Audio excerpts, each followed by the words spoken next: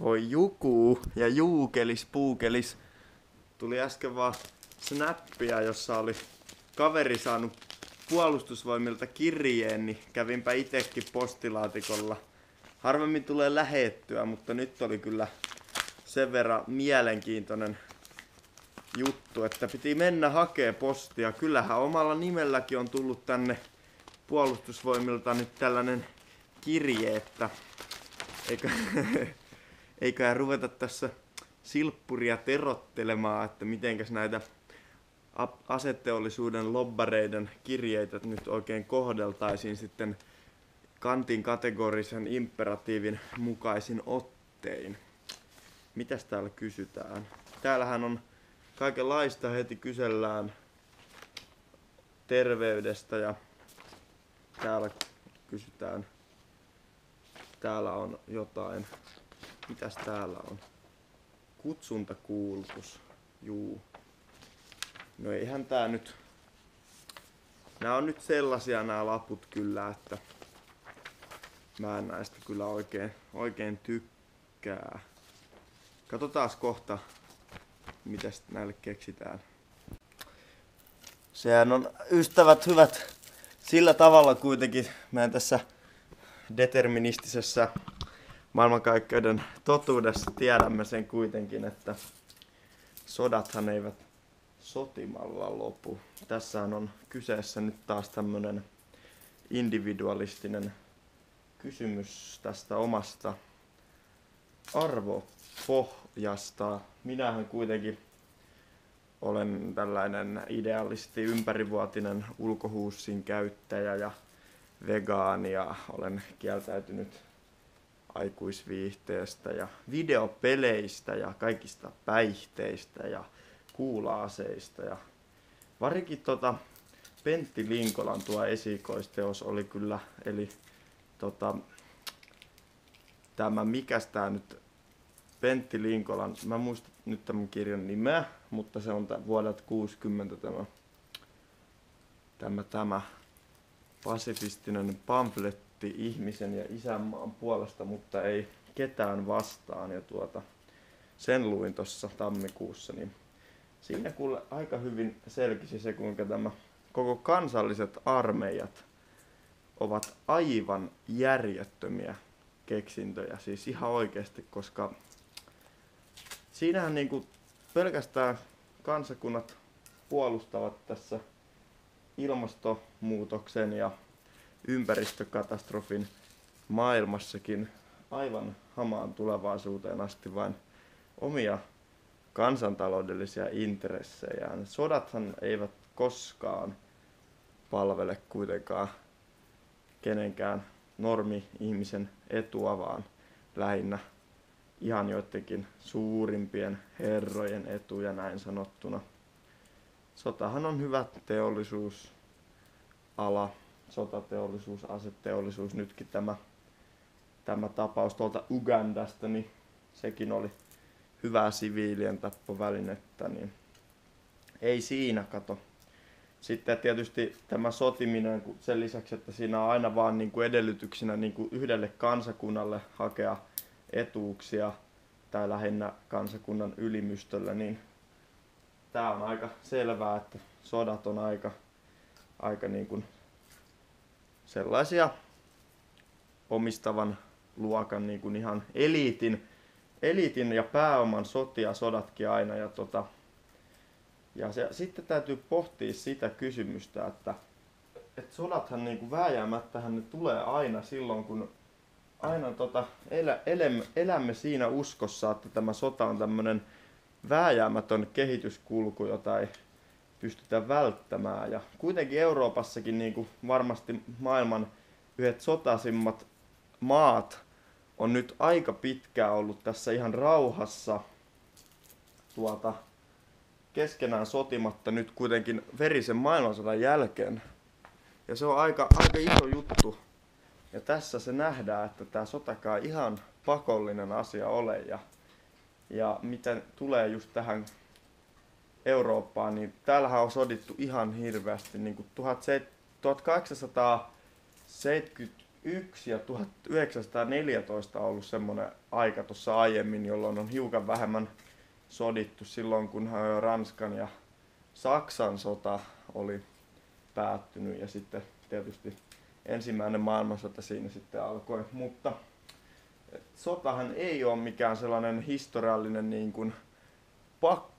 Tai totta kai ihmiskunnassa on aina kuulunut tämä sotiminen, mutta ihminen on aika fiksu eläin ja niin kuin Euroopassa näemme, niin olemme kyenneet myös rauhaisaan yhteiseloon tässä hyvinkin sotaisella maaperällä, että varmasti sotia tulee, jos elämme siinä jatkuvassa valmiustilassa ja oletuksessa. Ja tämähän on nyt kuitenkin yksilön moraalia mittaava kysymys, että onko tässä joku kollektiivinen pakko nyt sitten valmistautua tähän taisteluun näiden kansallisten intressien puolesta, vaikka selväähän se on, että nyt koko kansallisvaltiokin on ihan järjetön ajatus sikäli, että tavallaan niin kuin maailmasta rajataan joku alue ja sitten ajatellaan, että juu, nämä ihmiset tässä nyt puolustavat. Ja se on, se on kuitenkin lähtökohtaisesti niin tota, aina sellaista etujen hakemista tuo taistelu, taistelu luonnonvaroista tai elintilasta tai jostain muusta vastaavasta. Ja näistä asioista pitäisi muutenkin nyt keskustella vähän rakentavammin ja globaalilla tasolla, niin kuin, eikä vaan sillä tavalla, että Amerikka ensin ja pois ilmastosopimuksesta ja näin edespäin, että selvästi kyllä ihmislain ja luomakunnan ja koko tota faunan säilyvyyttä uhkaavat nämä sotakuvat. Ja mikä tulee tähän ympäristönäkökulmaan, niin vaikka sodissa on aina paljon kuollut ihmisiä, niin silti se tämmöinen lopullinen ympäristötase, mikä sodasta syntyy, niin sehän on ihan huomattava, koska sodan jälkeen aina sitten, kun ne kotirintamalla emännät ovat siellä olleet ilman ukkojaan, niin hyvin, hyvin kiihkoissaan sitten, kun karjut palaavat ja siellä tapahtuu rakkauden tekoja. Ja sieltähän sitten tulee uutta kansaa, että oikein baby boom. Ja sitten sen lisäksi tietysti tämä sotateollisuus, mikä on ihan järjetön, järjetön rahan sekä materian syöppö, on toki olemassa vain sitä varten, että tietyt valtiot voivat ajaa etujaan ja saada enemmän vielä vähän taloudellisia ja ympäristöresursseja käyttöönsä ja pystyvät enemmän elämään mukavasti sitten toisten kustannuksilla, niin tämä sotateollisuushan on kanssa aivan hirvittävää niin kuin kulutusta ihan kaikesta, kaikesta turhasta niin kuin järjettömät määrät siis menee materiaa. Kyllä on muuten ekotaselta aika, aika kauheata touhua ja sitten sen lisäksi niin sodissa on semmoinen pieni pulma, että aina kun niitä tapahtuu, niin siinä tuhoutuu aika paljon samalla infrastruktuuria. Ja sitä kun sitten jälleen rakennamme, niin siinä on sitten taas jo näiden lasten tämän sotakoneiston rakentamisen lisäksi sitten kolmas tämmöinen ympäristöä vääjäämättä, vääjäämättä tuota hirveästi kuluttava tekijä ja seikka. Ja jos sodista vielä jotain, niin sitten vielä se itse tuho, mikä paikalliselle ympäristölle ja biodiversiteetille koituu koko sodasta, niin sekös vasta huimaa meininkiä onkin, että siinähän ei säästellä sitten, kun pommit paukkuvat ja lieskat lyövät, niin kyllä siinä saa luonto tutta todella paikkansa tässä antropocentrisessa maailmassa.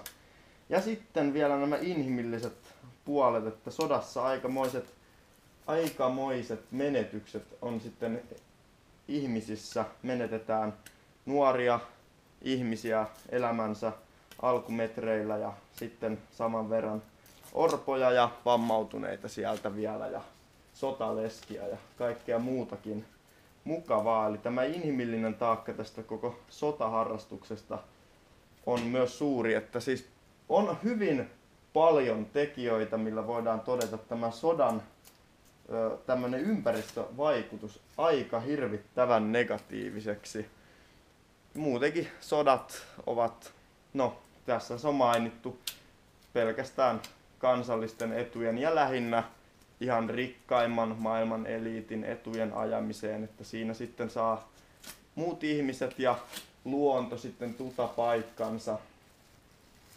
että tässä on aika hyvä nyt tällainen selitys tällaisista erilaisista syistä, miksi Pentti Linkolan esikoisteos puhutteli minua ja olen tähän aiheeseen nyt vihkiytynyt ja koska minä olen tällainen nuori idealisti, niin olenkin tässä nyt Suomen kansan halveksuttavana katseidenne edessä juuri toteamassa, että minun henkilökohtainen aatemaailma, joka sisältää tällaista aika niin kuin laaja-alaista kuitenkin ajattelua ja tietyllä tapaa tässä juuri kun olen Kamusta ja Sartrea lukenut eksistentiali- eksistentialistista kirjallisuutta, niin toki ajatus ja kuvani ihmisen suunnattomasta vapaudesta ja luontaisesta tällaisesta luontaisesta vapaudesta, niin se, se on niin kuin minulle terästäytynyt ajatuksena, että olemme aika vapaita syntyessämme.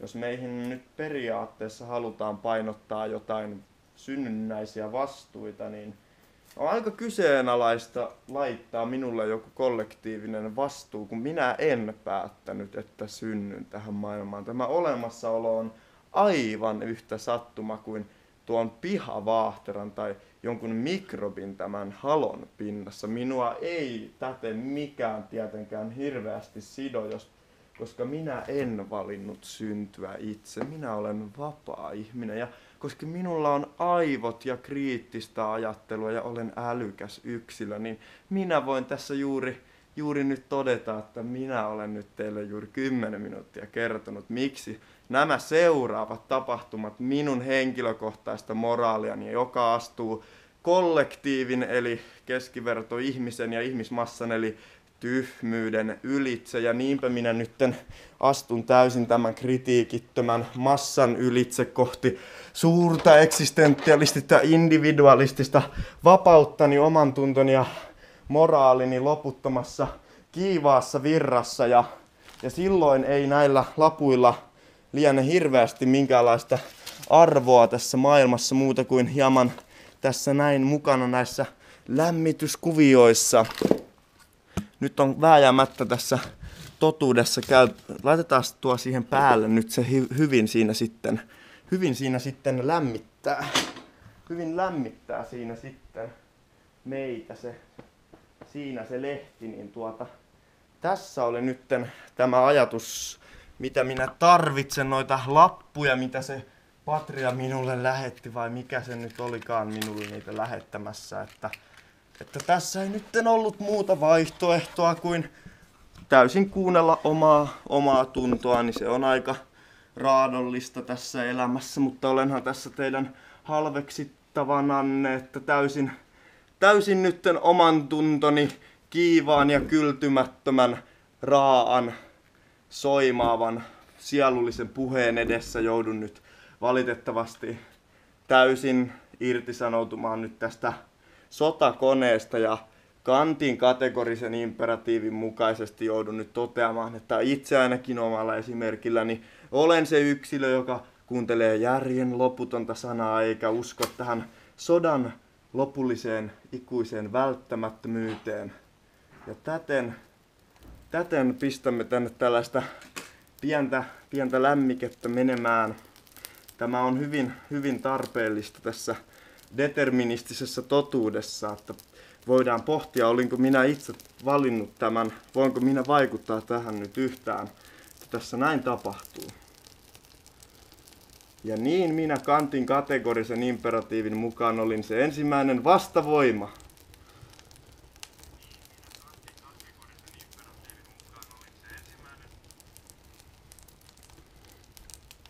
Ja näin.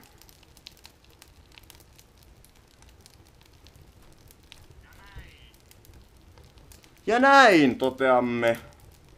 Tilanne on ratkaistu järjen eduksi. Käyttäkää tekin aivojanne.